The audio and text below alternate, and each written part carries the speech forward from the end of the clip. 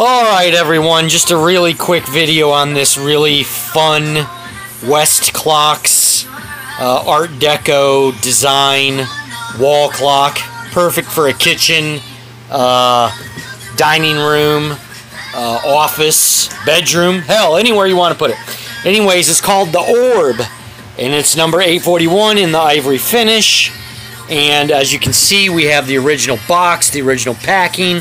I don't think this thing's ever been actually hung up. Um, we do have the back plate removed right here.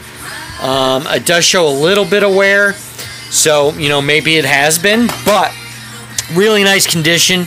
Um, little bit of uh, corrosion right there. We're going to try to take some steel wool to the chrome piece and clean that off.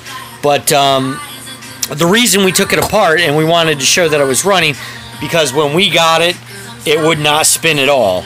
And of course, we know that uh, with any clock mechanism, after it sits for years and years, that any of that lubrication that's in there um, basically gums up and uh, prevents the uh, uh the clockworks from actually uh, moving. So this is glass.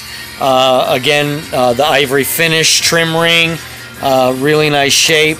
But we want to flip it over there and we used uh, a non-petroleum based automotive cleaner to clean out uh, all the old goop and uh, and then used some uh, new 3-in-1 oil to lubricate it. So um, it's running it's quiet and it, it's basically working like new. So that's it. Thanks as always for watching another rising phoenix antiques video and uh, come back and see us again